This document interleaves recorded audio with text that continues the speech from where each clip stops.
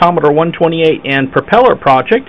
Um, today we're going to play a little Skate or Die using the propeller as the interface or the joystick. Um, but first we've got to get it loaded up and I am loading the Skate or Die tape file onto the Commodore 128 from this propeller board, my professional development board. Um, and it's coming up right now, loading in the fashion that tape did, which is slow.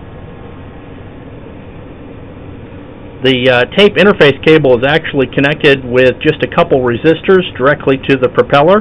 Um, the little red light that you see here is the uh, the tape motor sensor. It's showing that there's data being loaded right now. Here's the screen. This is the screen from the propeller that's just telling me what's going on.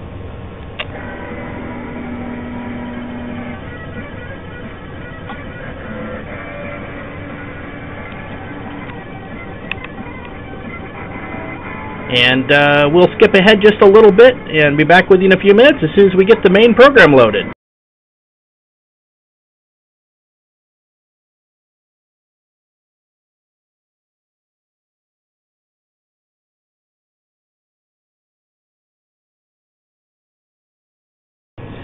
While the program's loading, I want to show you the second propeller. The second propeller will be working as the uh, joystick controller um, this is a U-controller Spin Studio board which allows me to plug in modules very quickly into the propeller.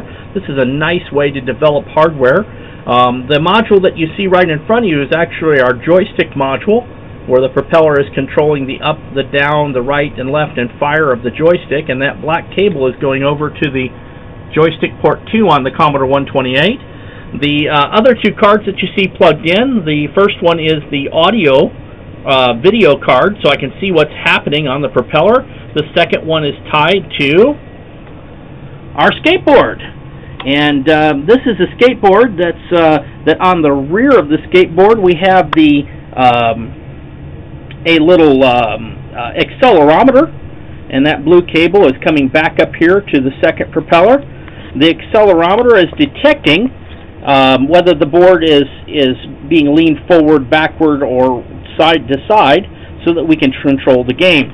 Now this board is, is on a piece of foam that can handle quite a bit of weight and can flex back and forth allowing this board, allowing someone to stand on this and flex it back and forth and we'll see that in operation in just a few minutes.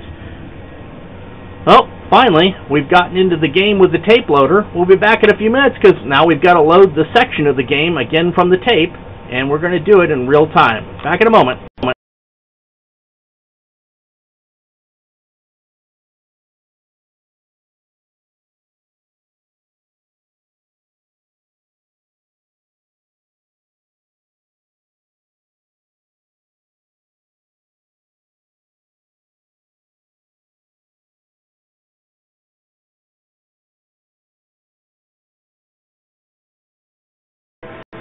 Okay, we're finally loaded up and ready to play, and this is Shelly.